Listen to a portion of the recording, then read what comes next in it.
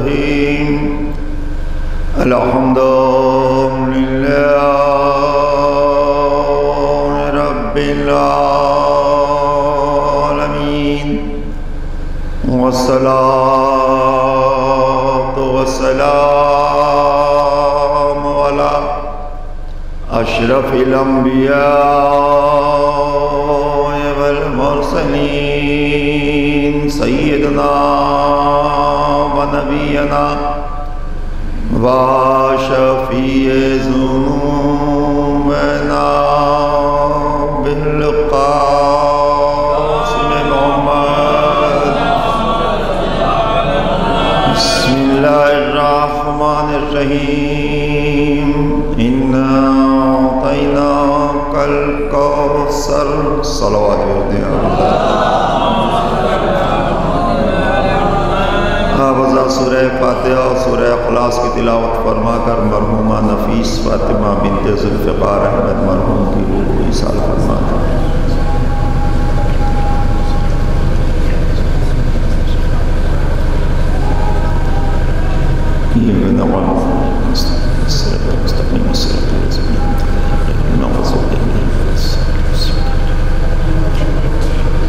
सलावाद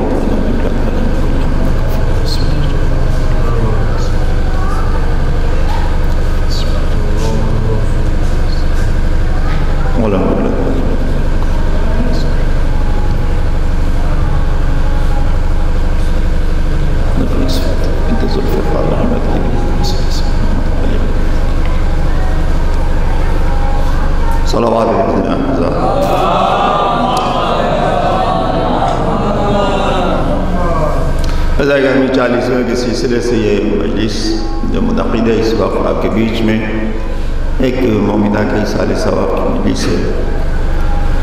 ज़ाहिर कि आप, अगर आपकी समातें थकी ना हो, बेदार हो तो कुछ गुफ्तु आपके बीच में की जाए इसलिए कि थोड़ा सा दुशारी हो जाती है कि ज़्यादा जो वक्त गुजर जाता है से पहले वाला। कोई भी आके बैठे अगर इब्तदा से, वो कितनी देर बैठ सकता है? हर आदमी की बैठने की कैपेसिटी होती है, मौसम, सर्दी। तो पूरे में तो शरीक नहीं हो सकता। या तो दो पार्ट में कर दिया जाए, एक में पेशानी हो, दूसरे में मजलिस हो। कंटिन्यूटी में सारी चीज़ें एक साथ तो बहुत मुश्किल काम हो जाता है। बहरहाल, जो है वो आपके सामने है। मैंने इस वक्त आपके बीच में इस मजलिस अज़ा के लिए, जो इस साल सवाब के लिए मुनद की गई है। सूर्य कौसर की एक आयत, तीन ही आयत है इस उसमें सूर्य में। उसकी एक आयत ऊपर वाली, जिसे बहरे की सभी पढ़ते हैं और जानते हैं कि, ना आदीना कल कौसर, अल्लाह अपने हबीब से ये इशारतन कह रहा है कि मैंने आपको कसरत औलाद अता की, कौसर अता किया। अब ज़ाहिर कि इस लफ्ज़ के मानी समझना और समझाना ज़रा सा दुशवार है और ख़ास तौर से उन लोगों को समझाना तो और मुश्किल है जो समझ कर भी नहीं समझते। तो उनके पीछे वक्त ज़ाया करना कि वो इस कौसर के माने ये होता है, कसरत से कौसर है, कौसर से कसरत है। ये सारी चीज़ें अपनी जगह पे हैं एक जो बहस और मुबासे की मंजिल। लेकिन इस वक्त जो एक मकसद है इस बीच में कि एक मोमिना की साल सवाब में कुछ सिनफ नाजुक के अतबार से गुफ्तु हो और उस सिनफ नाजुक की गुफ्तु में जो मरकज़ी ज़ात हो वो वही हो जो आलमीन के लिए शाहकार नस्वा बनकर आई थी। इसलिए कि हजत तमाम हुई है, शहज़ादी के ऊपर तमाम ख़वातीन की सीरत व किरदार के लिए। उसके आगे कुछ नहीं है वह आखिरी मंजिल है। अल्लाह कह रहा मैंने आपको कसरत औलाद अता की, किसको? नबी को। इसके सूर्य के नाजिल होने का पस मंज़र कई बार अर्ज़ कर चुका हूँ। कि लोग ताने दे रहे थे। जब अपनी औलाद को सुपुर्द खाक करके लौटे रसूल, अपने चाहने वालों के साथ, असहाब के साथ तो इबन वायस खड़ा हुआ था मलाउन वो अपने लोगों के साथ खड़ा हुआ था, शायद इंतज़ार कर रहा था कि आए तो कुछ कहा जाए। तो जब लौटे तो नबी तो गुज़र रहे थे, रास्ते के सामने खड़ा हुआ, उसने कहा कि अब इनका दीन नहीं चलेगा, अब इनका मिशन ख़त्म हो जाएगा, इसलिए कि इनकी कोई औलाद नहीं बची, ये अब अबतर हो गए ये बे औलाद हो गए तो नबी ने तो बहरहाल कुछ कहा नहीं, कोई रिएक्शन नहीं हुआ, आपका बस खामोश चले गए। नबी के इस खामोशी के बाद कुदरत वजद में आई कि मेरे नबी ने जवाब नहीं दिया, लेकिन मैं अपने नबी को बता तो दूँ। उसी सिलसिले में ये सूरा नाजिल हुआ। क्या मेरे नबी ये अबतर कह रहे हैं कि ये खुद अबतर रहेंगे और आपको तो मैंने कसरत औलाद अता की है? अब ज़ाहिर कि उसने जो बात कही कभी कभी होता यह है कि गलत लोगों के ज़ुबान से निकले हुए कुछ जुमले लोगों के लिए नसीहत आमेज हो जाते हैं। उसने एक जुमला कहा कि अब नबी का दीन नहीं चलेगा, इसलिए कि औलाद इनकी नहीं रही। तो कम से कम दुश्मन रसूल तो था, लेकिन उसे इतना इल्म था कि दीन औलाद से चलता है, असहाब से नहीं चलता। यही समझ लेते मुसलमान कि ये कह क्या गया इसने कहा क्या? इसका ये ऐलान ही अपने आप में दीन को चलाने के दुश्मन के जहनों में ये सवाल आ गया। कि अब कोई औलाद इनके नहीं, अब तो दीन ख़त्म हो जाएगा। वो कहता ना कि दीन उनकी औलाद तो नहीं, लेकिन उनके चाहने वाले तो साथ में हैं। माशाल्लाह से वो इसे चलाएँगे। लेकिन वो जानता था कि दीन औलाद से चलता है।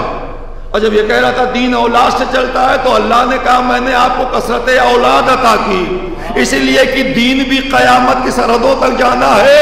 आपकी औलाद को भी कयामत की सरहदों तक जाना है। अगर दीन औलाद से चलता है तो मैंने आपको कसरत औलाद अता की। एक सलावाद भेज दे अब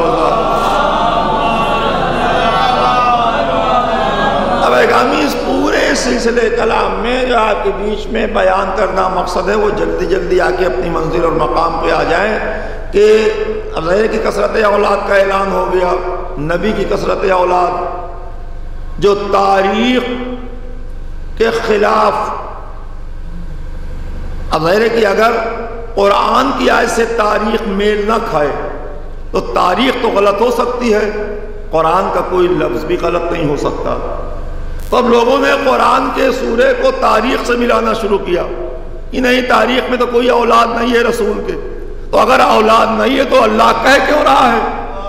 या तो मौलवी की लिखी तारीख सही है या अल्लाह का भेजा हुआ कलाम सही है। अब ये तो मुसलमान को तय करना है कि सूरह कौसर अपनी जगह पे सही है या मौलवी के कलम से लिखे हुए वजीफा खोरों के कलम से निकले हुए खबासत भरे जुमले सही हैं।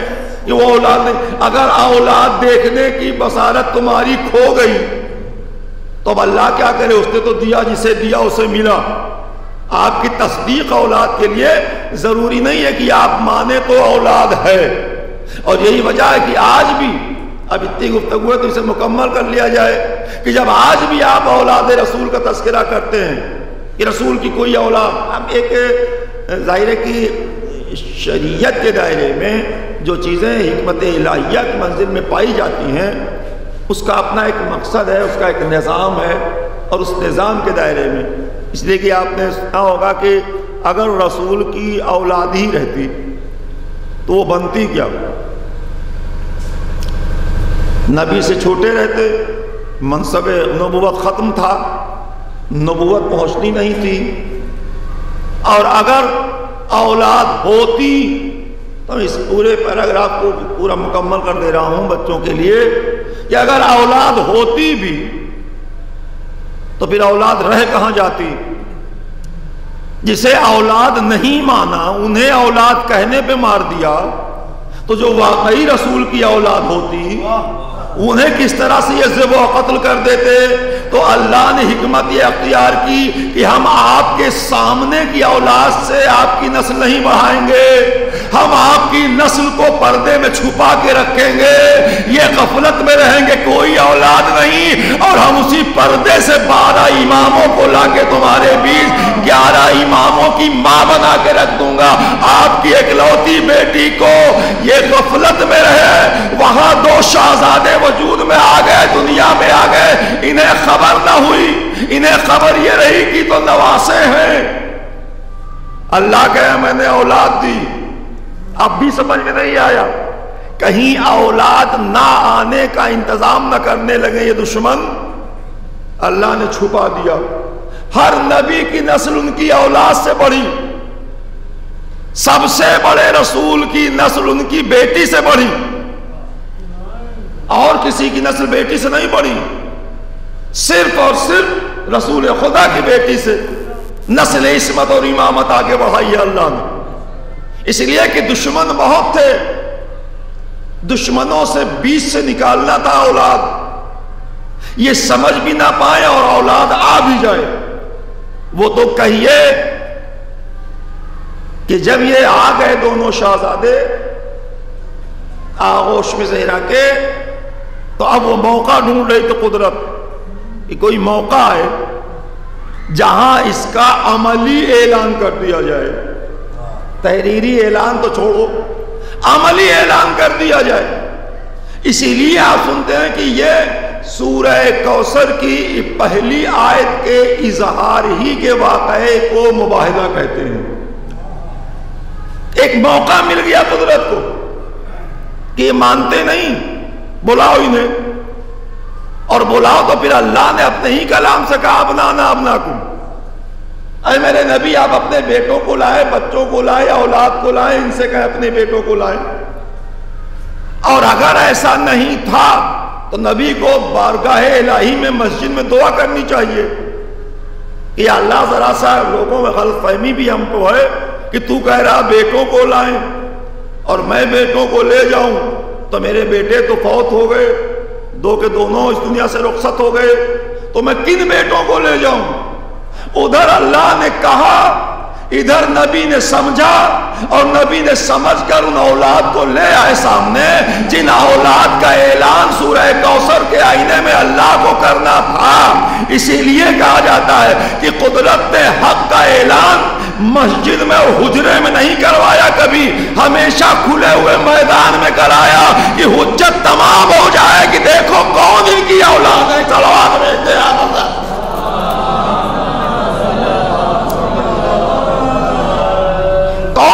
औलाद है, ये मालूम हो जाए।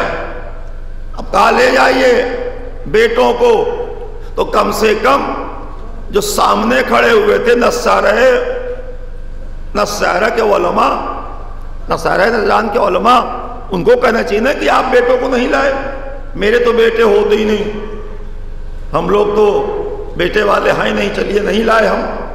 आप तो लाइए आप क्यों नहीं लाते बेटा। आप ही ने तो कहा है कि बेटों को लाओ। उन्होंने भी एतराज़ नहीं किया। इसका मतलब है कि मुशरिक तो थे, लेकिन नबी की औलाद पर यकीन की मंजिल में खड़े हुए थे। कहा, यह औलाद नहीं, कहा कि आपकी औलाद नहीं, आप लाइए औलाद को। बल्कि घबरा गए कि ऐसी औलाद रसूल कि मैं ऐसों का चेहरा देख रहा हूँ कि अगर ये उंगली उठा के इशारा कर दे तो पहाड़ अपनी जगह से खिसक जाए या चलने लगे। इसको देखा?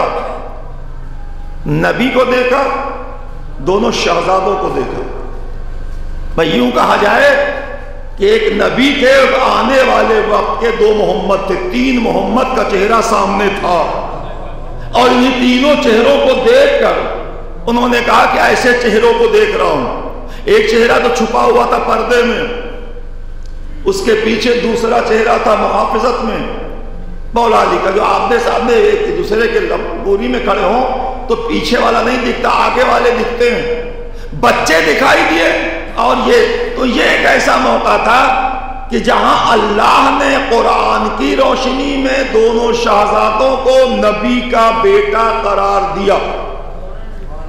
और जब ये दोनों उनके बेटे हो गए तो अब इनके जितने बेटे होंगे, सब उन्हीं के बेटे होंगे।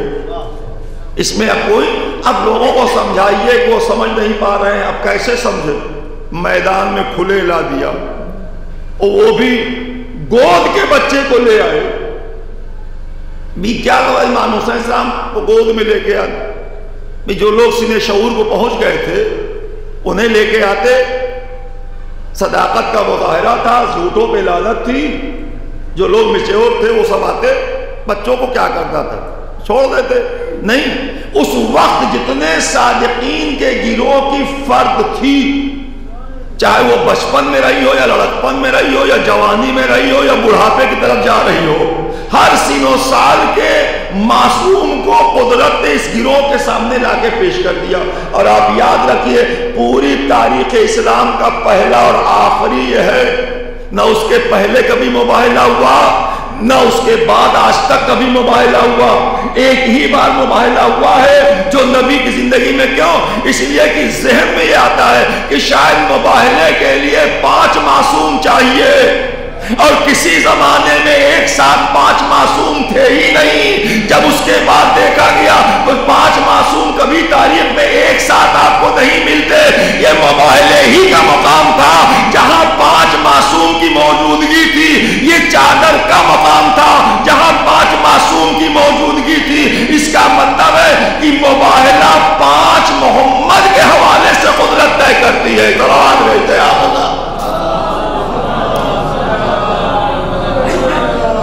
देखिए ये औलाद हैं शाहजादी के, जो मुकम्मल एक कंप्लीट ज़िंदगी जो सिंफ नाजुक की होती है, उसमें आपको दिखाई देगी क्योंकि अब तेरह जमातुल अव्वल से तीन जमातुलसानी तक पूरा अयाम जो चल रहा है यहाँ भी वहाँ भी मजलिसें जो होती हैं, उसमें आमतौर से शहजादी का ज़िक्र चल रहा है।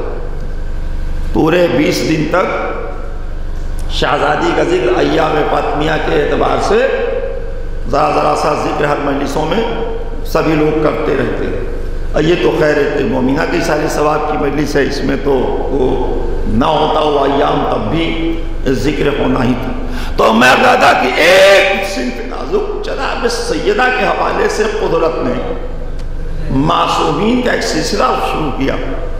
और जिस तरह से भी आपने अहमद की मंजिल को देखा है ये सब औलाद रसूल कहलाए अपने अपने ज़माने में। आजिज थे लोग कि आप अपने को क्यों औलाद रसूल कहते हैं? ये नहीं कि कहे, नहीं कहा लोगों ने।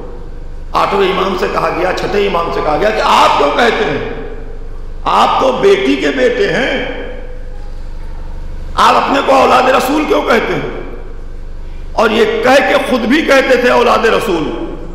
फजंद रसूल, जरा ये बताइए खुद भी फजल रसूल कहते थे और कहते थे कि आप कहते क्यों हैं? आप समझे? इसी को हक कहते हैं कि जिसे रोके भी और खुद इकरार भी करे, कह कह के क्या फजल रसूल, आप बता दीजिए, ये मसला है, ये बता दीजिए आप फजल। इसका मतलब अब जब इमाम से कहा गया तो इमाम ने कहा, सुनो, ऐसा है कि अगर नबी इस दरबार में आ जाए तुमसे कहे, मैं तुम्हारी बेटी से आप करूँगा तो क्या तुम करोगे? उसने कहा, ऐसा मुकद्दर कहा? कि वाकई मुझसे कहे मेरी बेटी से शादी। मैं बिल्कुल फ़ौरन कर दूँगा। इमाम ने कहा, लेकिन मुझसे कहे तो मैं नहीं करूँगा। तो औलाद रसूल है कि मैं औलाद रसूल हूँ? वो तो हर वक्त बेटियों को लेके आते रहे रसूल के सामने। आप नहीं है, तब भी ख्वाहिश रखते हो। तो ये नहीं कि नहीं कहा कि आप औलाद रसूल क्यों लिखते हैं। आजजी का इजहार अब तर के वारिस करते रहे। और कौसर का वारिस अपने कौसर के मिजाज को दुनिया के सामने पेश करता रहा। ये आप इमामत के अकीदे को जब भी देखें या इमामत की मंजिल को देखें तो इसी के पीछे छुपी हुई शाहजादी फातमा जहरा की तस्वीर मिलेगी। हर जमाने में शाहजादी आवाज़ देंगी, तू मेरी आवाज़ रोक रहा था, तू मुझे छुपाने की कोशिश कर रहा था, तू मेरा दुश्मन बना हुआ था, मैं अपनी औलाद को तेरी नस्ल के हर जमाने में रख कर उन्हें जवाब देकर बताऊँगी कि तारीख वो इकलौती माँ है, जिसके बेटे कयामत की सरहदों तक ज़िंदा है और ज़िंदा रहेंगे। चलो भेज दे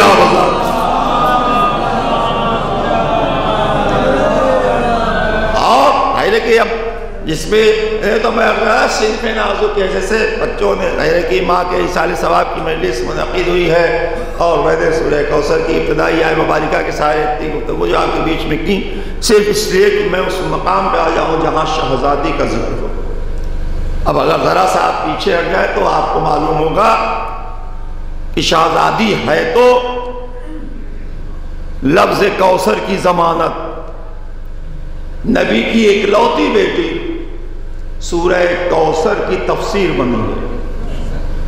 लेकिन जो सबसे बड़ी बात है वो ये है कि तफसीर सूर कौसर जैसी शहजादी की माँ की क्या कैफियत है, उसकी क्या सूरत हाल है? इतनी बड़ी शख्सियत और उसके लिए कुदरत ने इंतखाब किसे किया? देखिए, जौजियत में आना और है और जौजियत से गुजर कर माँ बन जाना और है। नबी की जौजियत में बहुत सारी बीबियाँ हैं। आज तक तादाद ही नहीं तय हो पाई। नौ, ग्यारह, तेरह।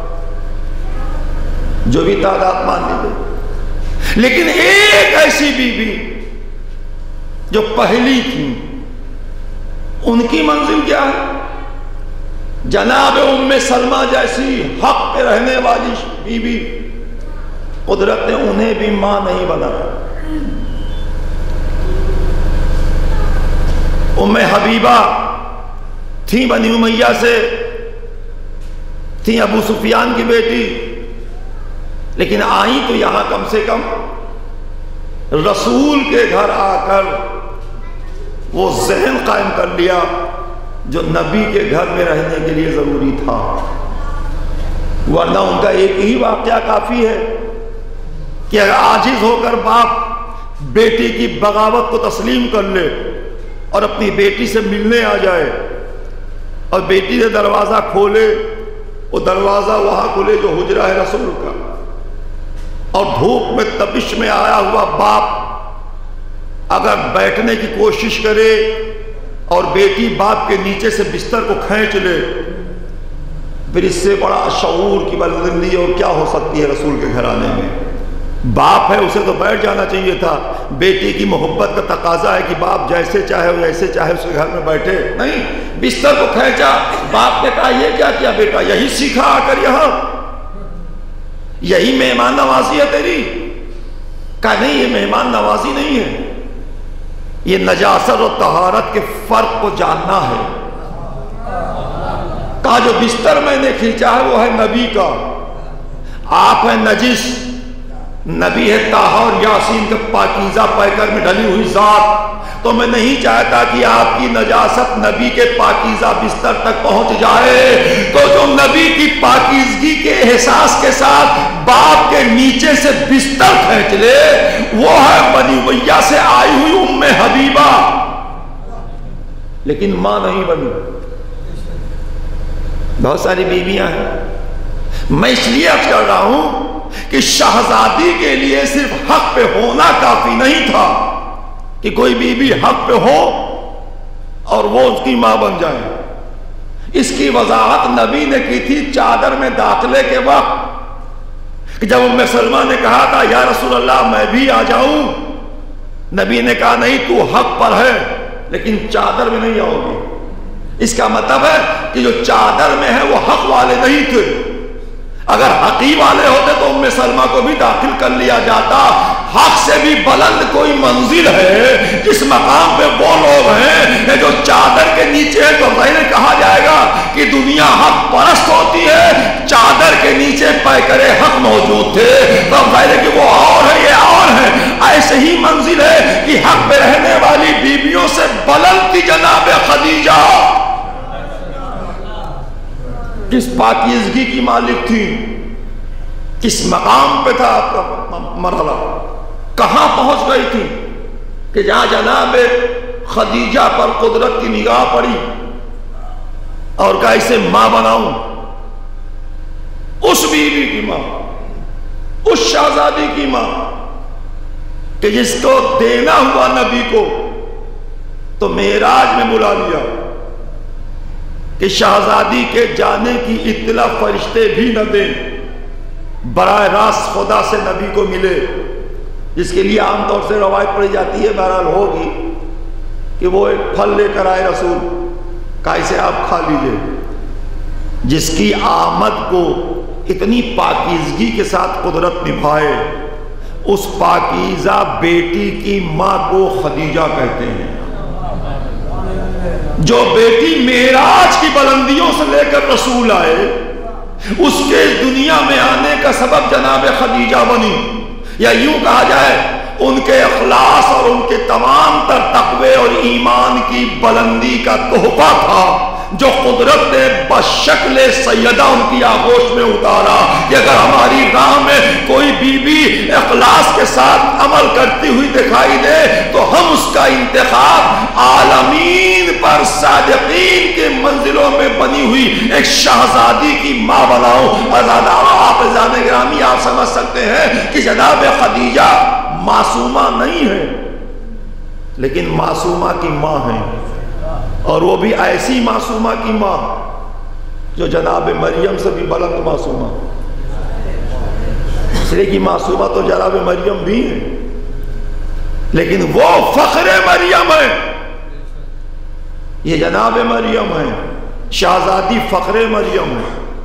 इसलिए कि जो तरतीब चली है जनाब हवा से चलकर और गुजरते हुए तमाम मादर मूसा और जनाब ईसा की माँ और जनाब मरियम और जनाब हाजरा उस सब के आखिरी मरहले में जब इस सफ को तमाम करना हुआ कुदरत को सिंफ नाजुक को तो ला के आखिरी मंजिल में शहजादी को रखा। जैसे आखिरी रसूल सबसे बड़े, वैसे सबसे बड़ी जनाब फातमा जहरा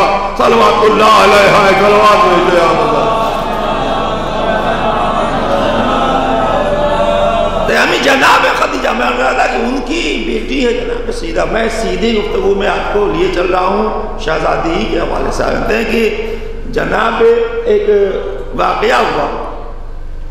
मिस्र में एक बुज़ुर्ग थे, उनसे आके एक शख्स ने कहा कि ताला तो हम लोग बंद कर देते हैं, लेकिन अगर चाबी खो जाए तो मादर मूसा का नाम लेते हैं तो खुल जाता है। तो उस बुज़ुर्ग ने कहा तो मैं क्या करूँ? जाइए खोलिए। कहा मैं नाम भूल गया हूँ। आप बता दीजिए। कभी मुझे भी नहीं याद आ रहा है। कहा मैं बहुत परेशान हूँ। वो, वो खुलेगा ताला उनका नाम लेने से। रहा होगा अपने तौर पर। तो उस बुज़ुर्ग ने कहा मैं भी भूल गया हूँ। आप कहिए तो चल के मैं खोल दूँ। कहा कैसे खोल ले जब आप नहीं जानते? कहा नहीं मैं खोल दूँगा वो आए उन्होंने कुछ कहा वो खुल गया। तो कहा, आपको याद था और आपने मुझे नहीं बताया? कहा, मुझे नहीं याद था। फिर आपने कैसे खोल दिया? कहा, जब तुमने ये कहा कि मूसा की माँ के नाम से ये खुल जाता है तो मैंने कहा, क्यों ना मूसा की माँ की फख्र बनी हुई शाहजादी का मैं नाम ले लूँ? तो मैंने नबी की बेटी का नाम ले लिया। ये कह के कि, मादर मूसा की फख्र की मंजिलों में शाहजादी का नाम ले रहा हूँ, इसलिए खुल गया। अब आप समझे कि शाहजादी की अजमत को हर जमाने ने समझा है कि जब इनसे ये असर है तो उनका कैसा असर होगा? सलाम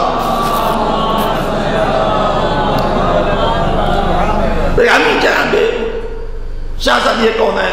इनका ज़िक्र इस वक्त मुसलसल आपके बीच में हो रहा है।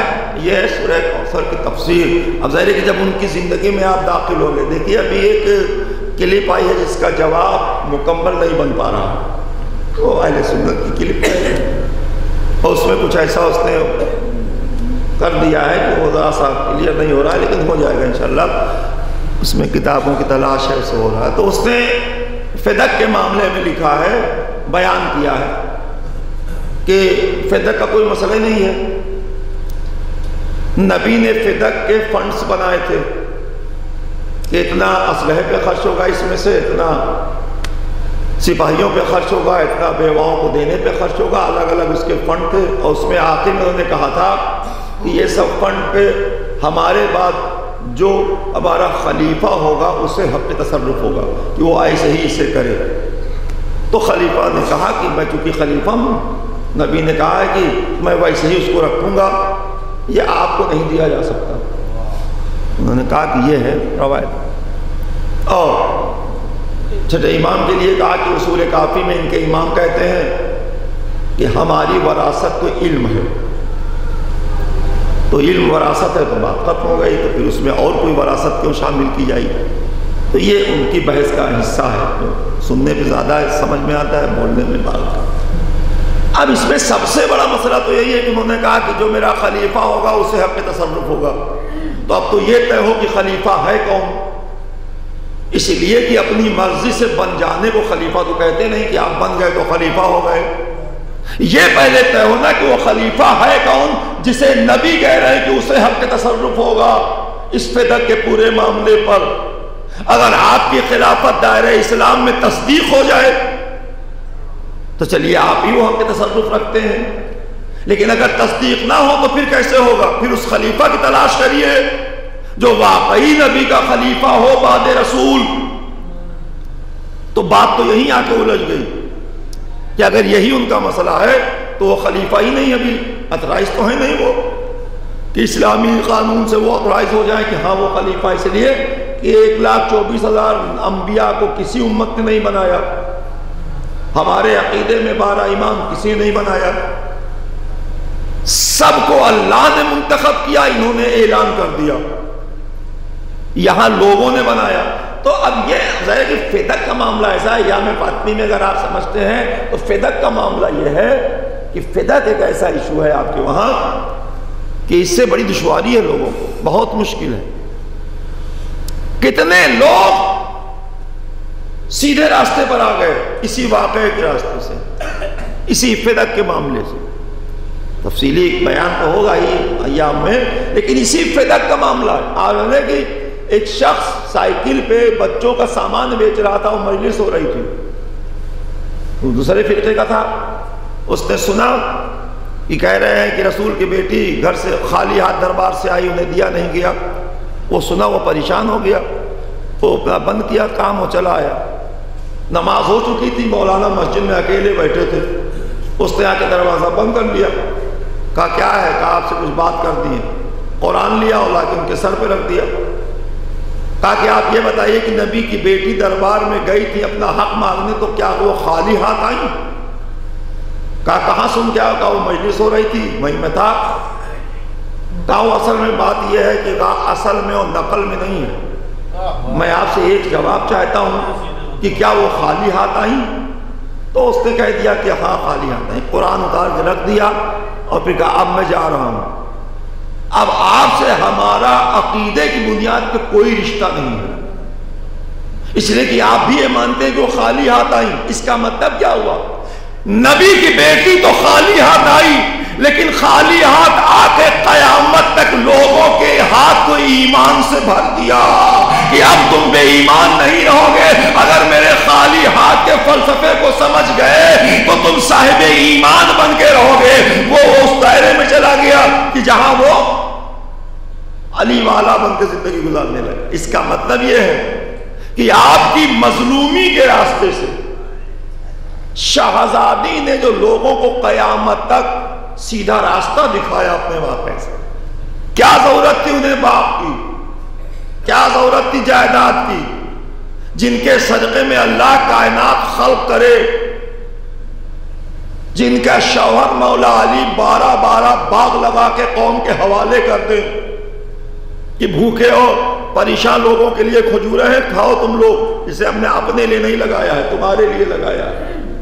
तो जहाँ ये सखावत का दरिया बह रहा हो, वहाँ एक फिदक के लिए, फिदक के लिए नहीं आने वाली नस्लों के ईमान के तहफ़ुज में शहजादी गई और चली भी आई। अब वो मसाइल का हिस्सा हो जाता है, सलवाद भेज दे आप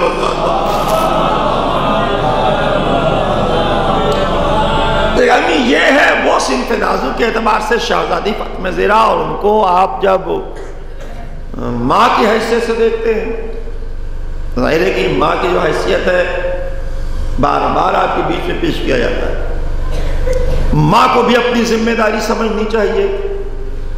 और बच्चों को तो समझना ही है, चाहे माँ समझे या ना समझे। इसलिए कि आप ये कह के अलग नहीं हो सकते कि मेरी माँ अच्छी नहीं है या ठीक नहीं है। जब अल्लाह कह रहा है, काफिर माँ बाप को उतना तक चलो साथ जहाँ वो मेरी मुखालफत ना हो। जहाँ मेरे हुक्म से उसका हुक्म टकराए ना। वहाँ तक उसके एहतियात करो। उससे ज़्यादा वो उलझो नहीं या उससे तेज़ मन बोलो। वैसे ही पले वाले दैया एहसाना तो जब काफिर का मामला ये है, वो अच्छा नहीं है। और अल्लाह की निगाह में बच्चों के लिए उसे भी अच्छा बना के रख रहा है। तो फिर मोमनीन के घरों में जैसी माँ है, फिर कुल के बाद ज़रा सा जज्बात में कुछ हो जाए तो अलग लेकिन माँ तो माँ है अपनी जगह। आप उसे कभी झुटला नहीं सकते। इसलिए कि मैं माँ की अजमत में एक ही जुमला कहता हूँ कि बच्चे माँ बाप को मौत तक पहुंचाते हैं। माँ बाप बच्चों को ज़िंदगी की राहों पे चलना सिखाते हैं। इतना फ़र्क है। कि हम कहेंगे, माँ, बूढ़ी हो गई है, कब तक ज़िंदा रहेंगे? पाँच साल, दस साल, आठ साल। अगर इज़्ज़त से आपने अपनी माँ को सुपुर्द खाक करके उनके रसूम की अदायगी कर ली तो आपको लोग कहते हैं कि, बेटा खुद किया, हक अदा कर दिया माँ का। क्यों? क्या हक अदा कर दिया? जाके खाक में छोड़ा है कहा, नहीं, यही तो फ़राइज है तुम्हारे, कि तुमने अहतमाम किया उन्हें सुपुर्द खाक किया, फिर लोगों के बीच में बैठ कर उनके रसूम की अदायगी की और चालीस वगैरह तो आप बहरहाल इस मामले में फिट फाट ठीक है कि आपने मौत तक पहुँचा तो दिया इज़्ज़त के साथ। इसलिए कि उस माँ ने आपको ज़िंदगी तक पहुँचाया है। उल्टी तस्वीर है। बच्चों को वालदेन ज़िंदगी की तरफ़ ले जाते हैं। बच्चे माँ बाप को मौत की तरफ़ ले जाते हैं। और इसी में ले जाने में कामयाबी है आपकी। यही एतात है, यही एहसान है अदा करने का तरीका। इसलिए कि मैं फिर अपनी बात दोहरा दूँ इस सिलसिले में कि नबी ने कहा कि, एक शख्स ने कहा कि वो रसोल्लाह दुआ कबूल नहीं होती। आप दुआ कर दीजिए, काम मैं तो कर दूँगा। लेकिन बेहतर यह है कि तुम अपनी माँ से दुआ करवाओ। उस शख्स ने कहा, या रसोल्ला मेरी माँ तो मर चुकी कहा तो कब्र पे चले जाओ। और कब्र पे जाके आवाज़ दो अपनी माँ को कि मेरी ये दुआ कबूल नहीं होती, अम्मा दुआ करिए कि ये हो जाए। इसका मतलब यह है कि नबी खुद मौजूद हैं। उसके बाद भी बच्चे और खुदा के बीच माँ को वसीला बना के पेश कर रहे हैं। कि अगर दुआ कबूल ना हो तो माँ की कब्रों से जाके दुआ कबूल करवा लो।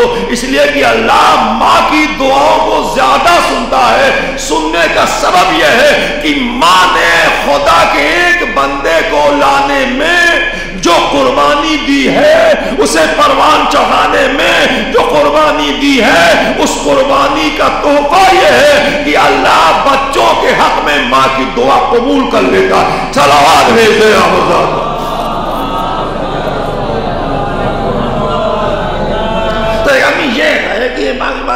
है कि हमारी माए और हैं, और मासूम की और हैं। हमारी माओ से खता भी हो सकती है। जज्बात में कुछ कह भी सकती हैं। लेकिन क्या कहना मासूम की माओ का? कितनी पाकिजा जर्फ की मालिक है ये माए। किस तरह से बच्चों की परवरिश की है? मासूम नेमत को संभाल कर अपनी आगोश से कौम मिलत के तहफ़ में निकाल कर पेश कर देना।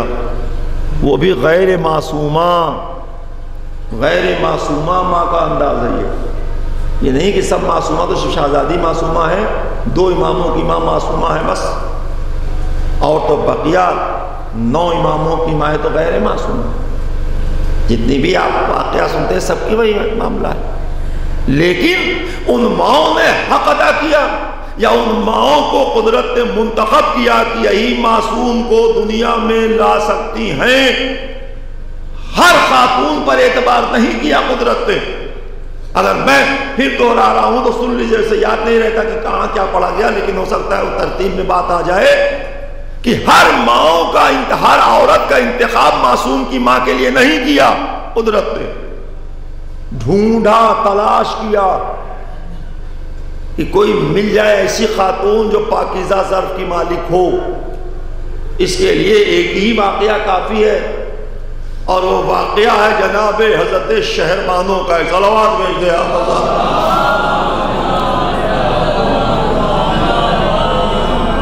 इसलिए कि हमारे इमामों में चौथे इमाम, एक ऐसे इमाम हैं जो हर इमाम से ज़्यादा मुसीबतों से गुजरे हैं।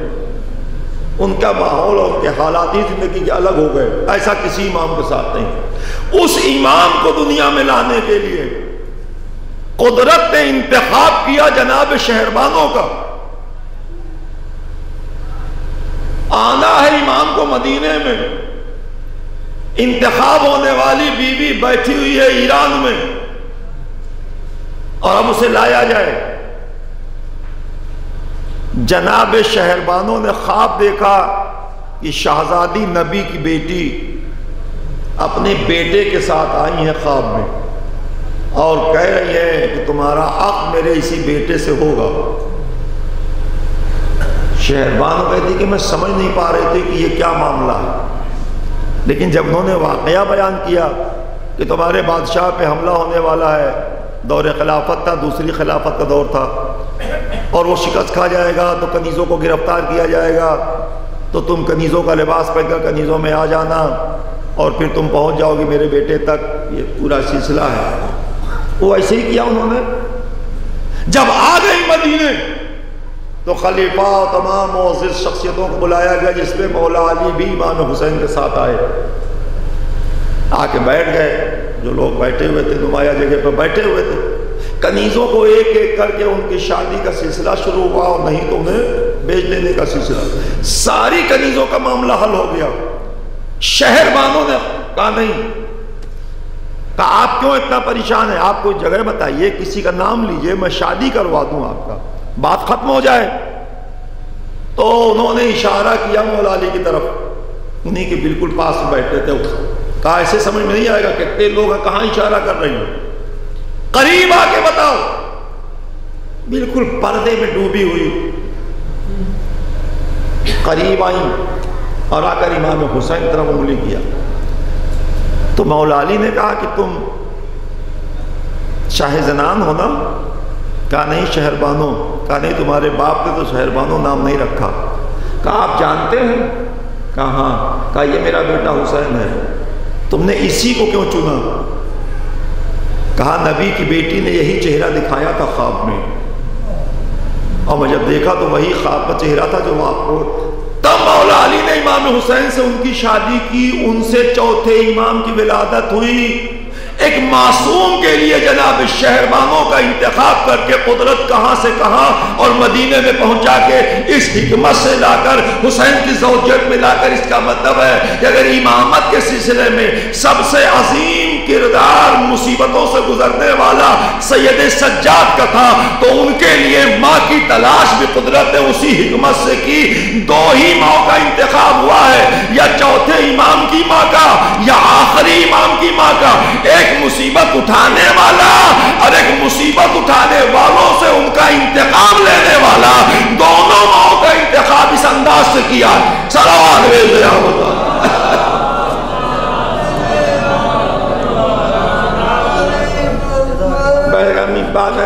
एहतमाम कर इसका सवाब मरहुमा तक पहुँचाते हुए यह है माएँ बच्चे गमगीन हैं कि उनकी माँ इस दुनिया में नहीं रही। माँ बूढ़ी हो या जवान, माँ माँ होती है। उसके उम्र से कोई फ़र्क नहीं पड़ता। मौत बरहक है, और जब मौत बरहक है तो वो जवानी में आए, बुढ़ापे में आए, लेकिन जब मौत आए तो माँ को मौत आती है। बूढ़ी माँ जवान माँ को मौत नहीं आती। ममता आखिरी हिस्से तक बाकी रहती है। ज़ाहिर है कि अगर बच्चे ने माँ के इसाले सवाब में अहतमाम किया है कि मैं सवाब पहुँचाऊँ अपनी मोमिना माँ को, इसलिए कि वो मरहुमा जो ज़िक्र मासूमा के लिए तड़पती रहती थी, इसके लिए आपके बीच में मैंने फातिह की मजलिस में अर्ज़ किया था कि वो चल पाने के काबिल ना होने के बावजूद किसी सूरत जन्नतुलबकी में जाकर न हो मातम करके अपने को सुकून देती थी। तो जो ज़िंदगी में शबी है जन्नतुलबकी में जा जाकर,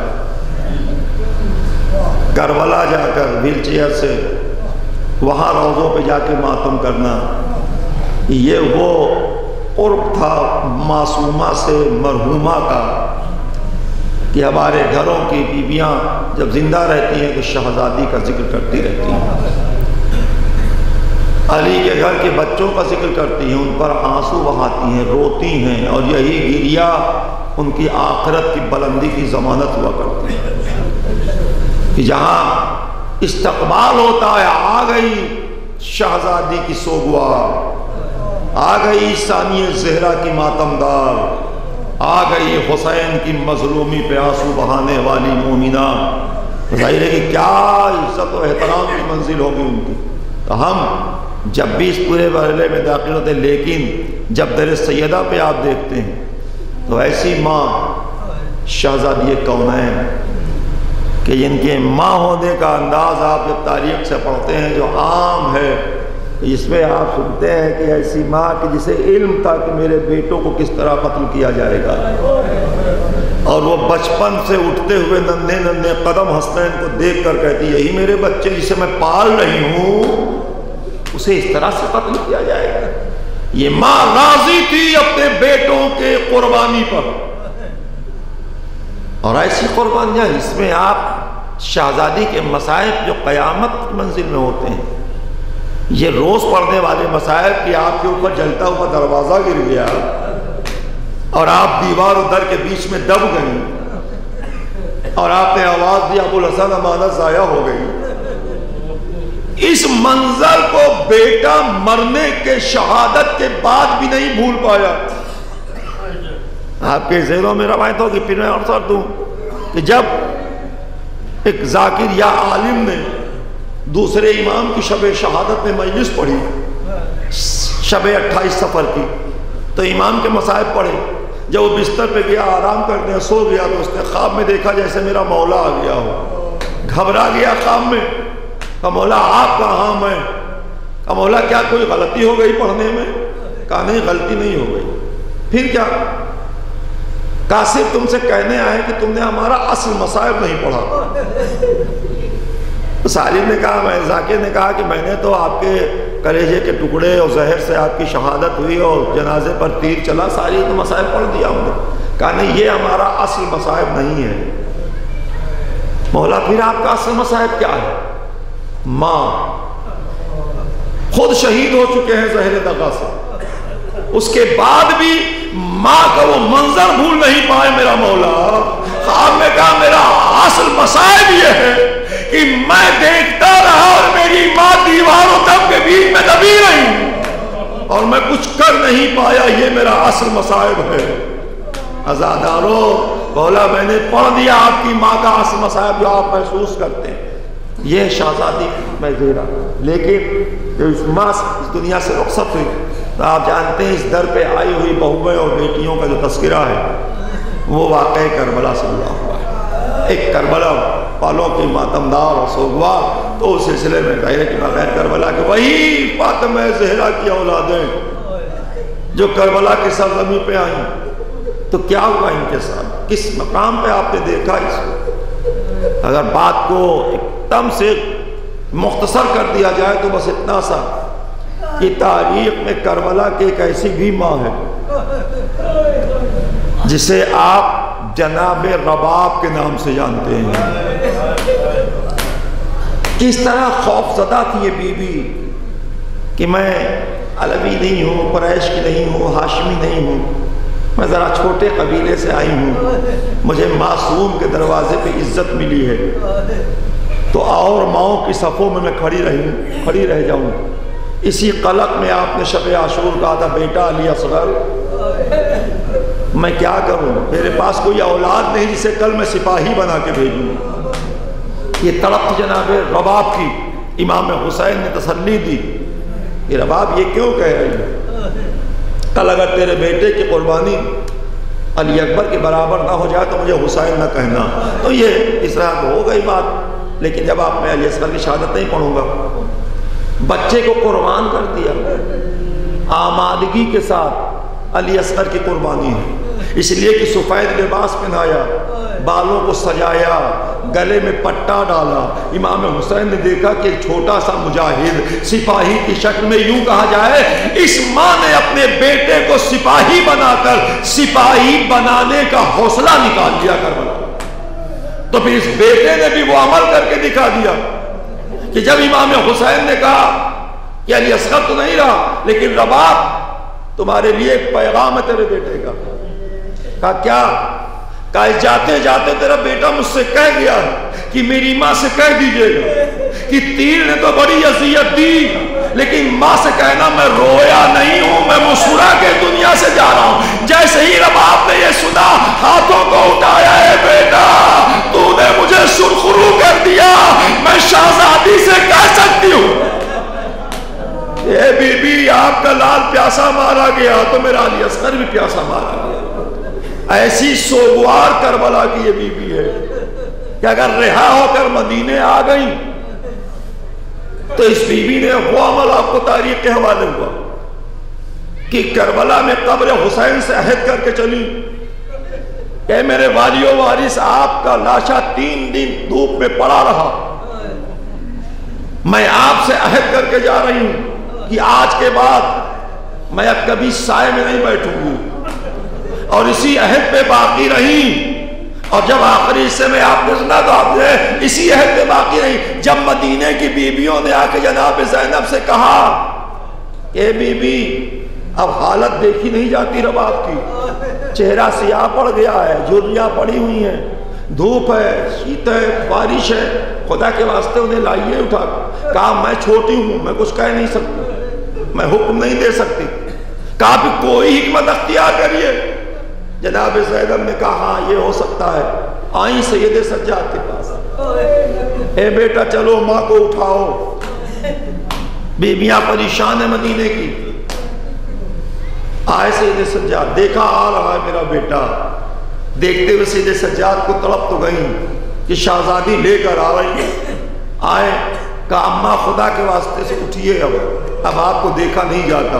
आपकी मुसीबतें बहुत बढ़ गई हैं। आपके हालात ठीक नहीं हैं। क्या कहना जनाब रबाब का? उस बीबी ने क्या कहा? बेटा बेटा बन के कहना, इमाम बन के ना कहना। हज़ारों, अब ज़ाहिर है कि जब इमाम को कहना ही पड़ा आखिर में कि अम्मा अगर आप कहीं चलती तो अब मैं बहैसियत इमाम आपको हुक्म दे रहा हूँ कि आप उठकर साय में चलिए। क्या कहना शादी जनाब रवाब की मंजिलत को, मकाम को? ये कह के सैद सज्जाद ने एक हाथ पकड़ा और कहा पुपी अम्मा, दूसरा बाजू आप पकड़िए। जब उठाने लगे तो जनाब रबाब ने अपना चेहरा आसमान की तरफ़ किया। और कहा, बारे लहा, एक इमाम की कब्र पे किया हुआ अहद, दूसरे इमाम का हुक्म मैं उस अहद को तोड़ू कि हुक्म को छोड़ू, तू मेरी आबरू बचा ले।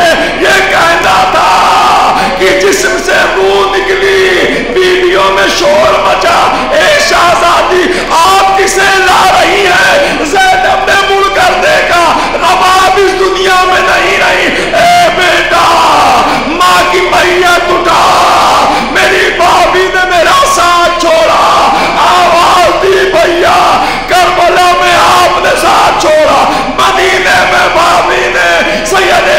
सज्जाद ने माँ जनाजा उठाया।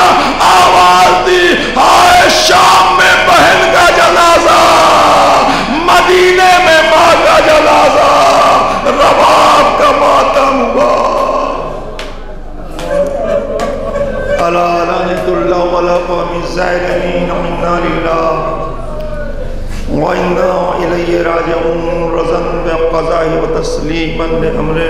हजरात एक बार फिर सूरह फातिहा मरहुमा नफीस फातिमा बिनते जुल्फ़ार अहमद मरहूम को भी कोई साल करना